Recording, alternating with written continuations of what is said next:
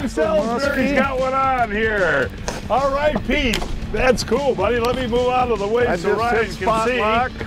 That took a nice jump out there, didn't it, Steve? yeah. You still get excited with Oh, small yeah. ones. Oh, here we go, buddy. there we go.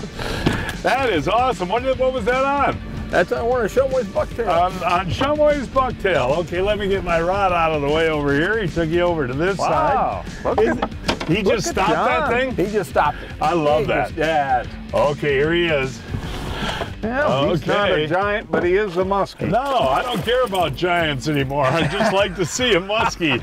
Uh, uh, you know, folks that watched our show on Leech Lake last week know we struggled.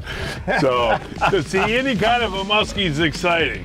And I'll That's tell you what, he's kind of like Tex that Steve Salisbury takes his time, huh, Pete? Oh yeah. Yeah, but he's he's trying to. I I was actually stumbling around with the net a little bit. Oh, that's a pretty fish. That's now that doesn't have the, the distinct bars like the other one, Pete. No, no.